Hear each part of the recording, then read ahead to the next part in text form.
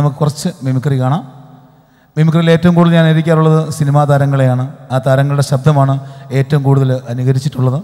അതിൽ ഒരുപാട് ഒരുപാട് സംഭവങ്ങൾ വ്യത്യസ്തമായ സംഭവങ്ങൾ ചെയ്തിട്ടുണ്ട്. അതൊക്കെ നിങ്ങളുടെ സഹകരണം പ്രോത്സാഹനം കൊണ്ട് വിജയിപ്പിച്ചിട്ടുമുണ്ട്. ഇപ്രാവശ്യവും ചെയ്യാൻ പോകുന്ന അങ്ങനെ തരണമാണ് ഇപ്പോൾ മോർഫിംഗ് എന്ന് പറയുന്ന സാങ്കേതികവിദ്യ നിങ്ങൾക്ക് എല്ലാവർക്കും അറിയാം. മലയാള സിനിമയിലെ താരങ്ങളുടെ ശബ്ദങ്ങളിൽ നിന്നും ചില രാഷ്ട്രീയക്കാരിലേക്കുള്ള രസകരമായ ഒരു മോർഫിംഗ് ആണ് ചെയ്യാൻ പോകുന്നത്. നമ്മുടെ പല താരങ്ങളുടെയും ശബ്ദം ഒന്ന് മാറ്റിമറിച്ചെടുത്താൽ ചില രാഷ്ട്രീയക്കാരിലേക്ക് പോകുന്നതായിട്ട് നമുക്ക് കാണാം. നമുക്ക് ആദ്യം മലയാള സിനിമയിലെ നാടകാചാര്യനായ അനശ്വരനായ Shri N N Pillai sir. അദ്ദേഹത്തിന്റെ ശബ്ദത്തിൽ കരുത്തനായ ഒരു രാഷ്ട്രീയ നേതാവ് ഒളിഞ്ഞു കിടപ്പുണ്ട്. നമുക്ക് ആദ്യം പിള്ള സാറിനെ ശബ്ദം ഒന്ന് കേൾക്കാം.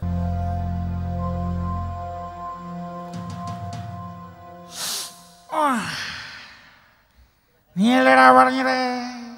നീയല്ലേ പറഞ്ഞത്? ഇത് മലയാള സിനിമയിൽ മമ്മൂട്ടിയും മോഹൻലാലും അടക്കമുള്ള സൂപ്പർ താരങ്ങൾ വിലസുമ്പോഴും കാര്യരുമിന്റെ കരുത്തുമായി നമ്മളെ ഒരുപാട് വിസ്മയിപ്പിച്ച കരുത്തുള്ളൊരു നടനായിരുന്നു നമ്മളെല്ലാം വിട്ടു പിരിഞ്ഞു പോയ ശ്രീ മുരളിച്ചേട്ടൻ. മുരളിച്ചേട്ടൻ ശബ്ദത്തിൽ മുളിഞ്ഞു കിടപ്പുണ്ട് കേരള രാഷ്ട്രീയത്തിലെ കരുത്തനായ മറ്റൊരു രാഷ്ട്രീയ നേതാവ്. നമുക്ക് മുരളിച്ചേട്ടൻ ശബ്ദം ഒന്ന് കേൾക്കാം.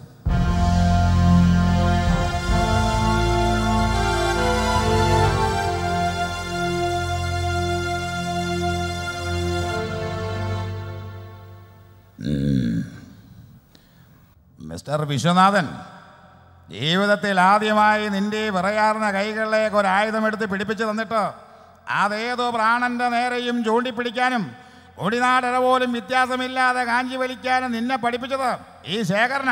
നിനക്ക് വേണമെങ്കിൽ ശേഖരനെ കൊല്ലാം ഇവിടെ വെച്ച് അവസാനിപ്പിക്കാം. പക്ഷേ ഒരായിരം തവണ മരണത്തിൽ നിന്നും നീന്തി കരകയറി മനസ്സും ശരീരവും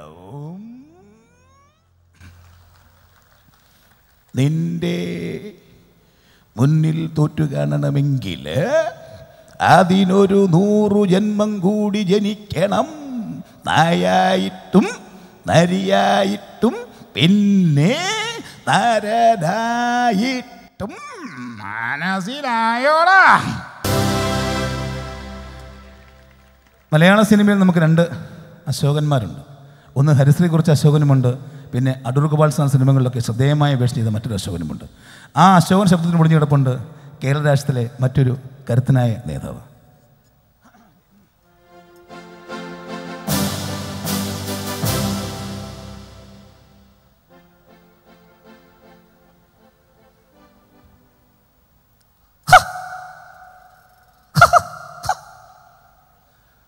രാവിലെ ഓർക്കുന്നുണ്ടാവും നമ്മൾ തമ്മിലുള്ള വാർച്ച ഉണ്ടാകും രാധ ജയിച്ച ഗുരുവായൂരമ്പലത്തെ പ്രദർശനവും ഒരു പുഷ്പാഞ്ജലിയും ഹ! എന്താ വാക്ക് ഞാൻ പറഞ്ഞു ഒരു ചുമട്ടുള്ളൂ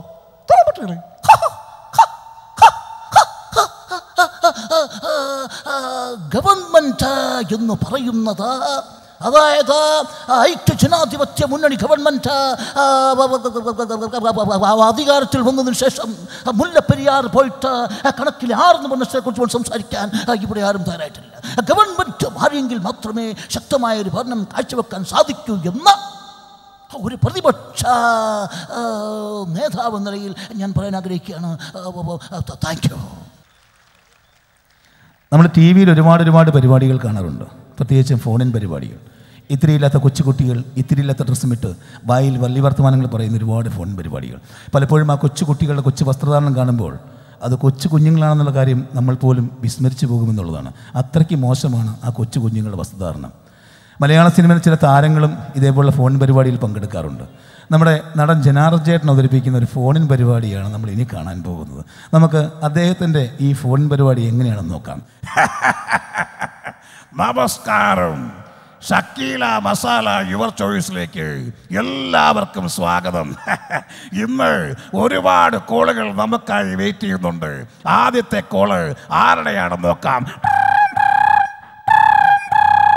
Hello Shakeela masala your choice ആരാണ് സംസാരിക്കുന്നത്? ഹലോ ഞാൻ രാധയാണ്. ഓ രാധ. രാധേ രാധ എവിടുന്നാണ് സംസാരിക്കുന്നത്? ഞാൻ ആലപ്പുഴയിൽ നിന്നാണ് സാർ. ഏ? ആകെ പിഴയാണെന്നോ? അയ്യോ ആകെ പിഴയാണെന്നല്ല. ആലപ്പുഴ എന്നാണ് സാർ വിളിക്കുന്നത്. ഓ ആലപ്പുഴയെന്ന് രാധ. രാധേ രാധയുടെ ശബ്ദം കേൾക്കാൻ നല്ല സ്വീറ്റ് വോയിസ് ആണ് കേട്ടോ. താങ്ക് യു സാർ എന്താ രാധേ? എന്റെ സാറേ? രാധേ രാധ എവിടെ വർക്ക് ചെയ്യുന്നു? ഞാൻ സെക്രട്ടേറിയറ്റിൽ വർക്ക് ചെയ്യുന്നു സാർ ഓ സെക്രട്ടേറിയറ്റിൽ രാധ കല്യാണം കഴിച്ചതാണോ? ആ കല്യാണം കഴിച്ചു പോയി സാർ ഏ കല്യാണം കഴിച്ചു പോയോ? എന്നാലും സാരമില്ല. രാധേ രാധയ്ക്ക് എത്ര കുട്ടികളുണ്ട്?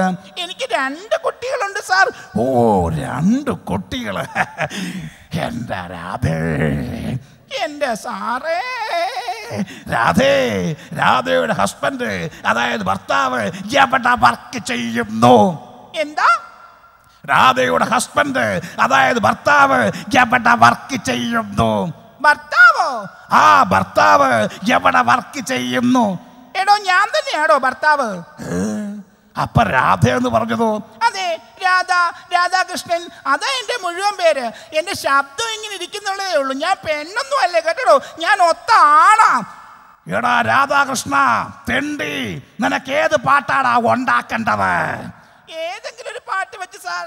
ഓ പാട്ട് വെച്ച് തിരികല്ല നിന്നെയൊക്കെ ഏതെങ്കിലും മുറിയിൽ പൂട്ടിയിടുക വേണത് വെച്ചിട്ട് പോടാ തൊട്ടി. ആഹാ. ഇതേപോലുള്ള ഫോൺ പരിപാടികൾ നമ്മൾ കാണാറുണ്ട്. ഇത്തരത്തിലുള്ള ഫോൺ പരിപാടികൾ കാണുമ്പോഴാണ് നമ്മൾ പലപ്പോഴും മനസ്സിലാക്കേണ്ടത്. ഫാഷൻ ഷോയുടെ ഒരു അവസ്ഥ. ഫാഷൻ ഷോ നിങ്ങളൊക്കെ കാണുന്നതാണ്.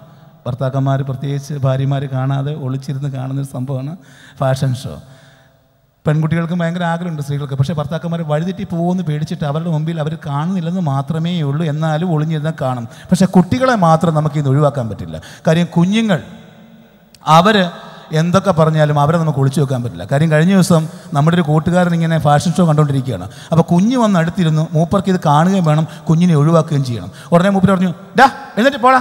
ഉടനെ കുഞ്ഞു അച്ഛാ ഇതെന്നാ ഇവരൊക്കെ ഇത്തിരി ഡ്രസ് ഇട്ടുകൊണ്ട് വരുന്നേ? മോനെ സാമ്പത്തിക മാന്യം സാമ്പത്തിക മാന്യോ ആ ആ, അതെ ഇവരൊക്കെ അമേരിക്കക്കാരല്ലേ? ഭയങ്കര പൈസക്കാരായിരുന്നു. അപ്പോൾ പൈസ ഉണ്ടായിരുന്നപ്പോൾ ഒരുപാട് ഡ്രസ്സ് ഇട്ടുകൊണ്ട് നടന്നു ഇപ്പോൾ പൈസ കുറഞ്ഞപ്പോൾ അവർക്ക് ഈ ഡ്രസ്സ് ഇടാൻ പൈസ ഇല്ല. പാവങ്ങളായിപ്പോയി. അതാ. മുമ്പൊക്കോ കുറച്ച് നേരം കൂടി ഇരിക്കാം. ഇതിലും പാവപ്പെട്ടവർ ഇനിയും വന്നാലോ? ഇതാണ് കുഞ്ഞുങ്ങളുടെ അവസ്ഥ. അപ്പോഴാണ് നമ്മളൊരു കാര്യം മനസ്സിലാക്കേണ്ടത്. ഇന്ന് ഫാഷൻ ഷോ എന്ന് പറഞ്ഞാൽ പെണ്ണുങ്ങൾക്ക് മാത്രമല്ല ആണുങ്ങൾക്കും ഉണ്ട് ഫാഷൻ ഷോ ആണുങ്ങളുടെ വരവും നിപ്പും പോക്കും ഒക്കെ കണ്ടുമ്പോൾ നമുക്ക് മനസ്സിലാവും. ഒരു രക്ഷയില്ല. അതെന്തോ നമ്മൾ ദേഷ്യമുള്ള പോലെയാണ്. സിക്സ് പാക്ക് എന്ന് പറഞ്ഞ സംഭവം ഇപ്പോൾ അടിച്ചങ്ങോട്ട് കയറ്റിയിട്ട് മസിലൊക്കെ പെരുപ്പിച്ച് നമ്മൾ വന്ന് നോക്കി നിൽക്കുകയൊക്കെ ചെയ്യും. ആണുങ്ങളുടെ ഫാഷൻ ഷോയിൽ അവരുടെ സ്റ്റൈലുണ്ട് എന്നിട്ട് നമുക്ക് നോക്കാം അവരെന്താണ് ഉദ്ദേശിക്കുന്നത്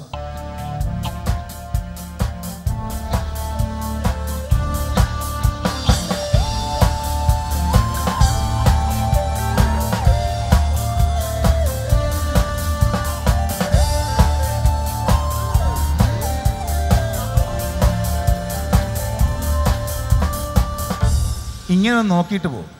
പക്ഷേ ഈ നോട്ടത്തിന് ഒരുപാട് അർത്ഥങ്ങളുണ്ട്. ഈ നിൽക്കാനും നോക്കാനൊക്കെ പഠിപ്പിക്കുന്നത് റിയൽ എസ്റ്റേറ്റുകാരാണ് ശരിക്കും. അവരൊരു സ്ഥലം വന്ന് കാണും. എന്നിട്ട് അവിടെ എന്തെല്ലാം ഉണ്ടെന്ന് ആദ്യം നോക്കി വെക്കും. കുറേ മരങ്ങളും ഒക്കെ കുറേ നോക്കി വെക്കും. നമുക്കിനി നോക്കാം ഇവരെന്തൊക്കെയാണ് നോക്കി വെക്കുന്നുള്ളത്.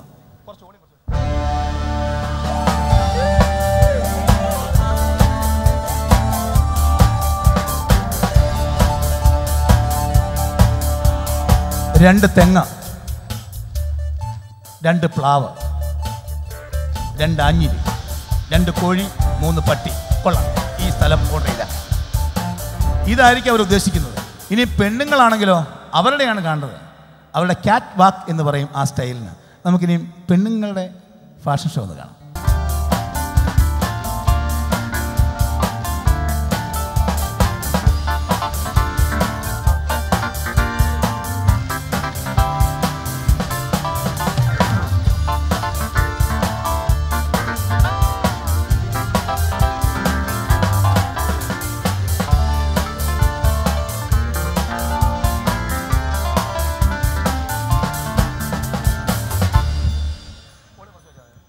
ഇനി ഇവരൊക്കെ മനസ്സിൽ എന്തൊക്കെയോ കാണുന്നുണ്ട്.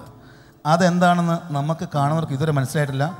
പക്ഷേ ഇതാണ് അവർ മനസ്സുദ്ദേശിക്കുന്നത് നമുക്ക് ഈ ഫാസ്റ്റ് ഷോ ഒന്നുകൂടെ റീവൈൻഡ് ചെയ്ത് കാണാം.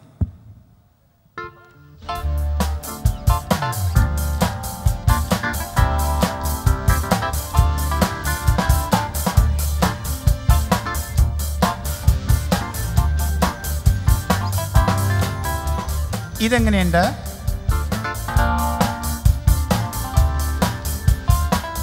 ഇതോ. ഇതാണോ ഇഷ്ടപ്പെട്ടേ? ഇല്ലെങ്കിൽ ഇതെങ്കിലും കാണോ പ്ലീസ് ഇനിയെങ്കിലും കാണാൻ മനസ്സിലാക്കുള്ളൂ എന്തെങ്കിലും ഒക്കെ അവർ കാണുന്നുണ്ട്.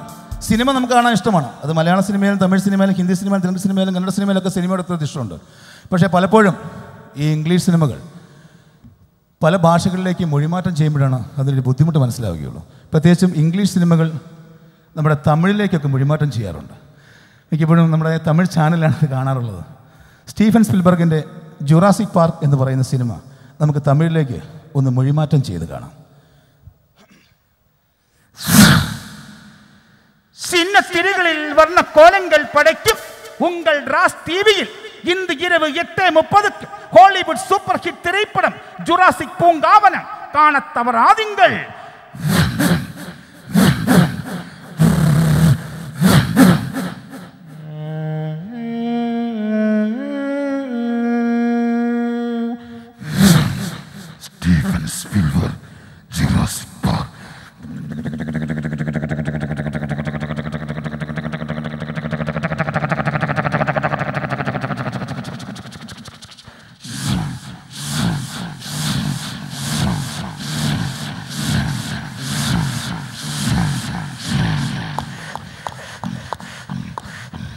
ஏ முனியாண்டி இந்த இரவுக்கு நீ எங்க போனடா? இல்லடா நானும் என் அப்பாவும் ஃப்ரெண்ட்ஸ் எல்லாம் சேர்ந்து கார் சுத்தி பார்க்க போறடா. நீ வரலையா? இல்லடா நான் நிறைய பிஸிடா ஒரே வேலை இருக்கப்பா. ஓகேடா அப்ப சாயங்காலம் காணாம பாருங்க ஓகேடா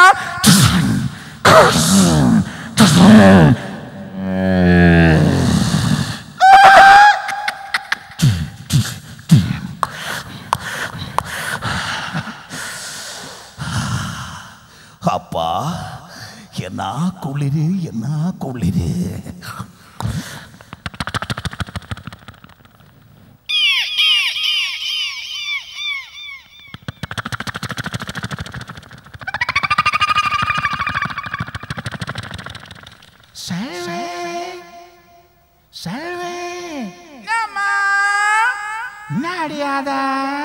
தெரியலம்மா ஏதோ பள்ளி மாறி இருக்கா? அப்படியா? நான் பயந்துட்டாடா.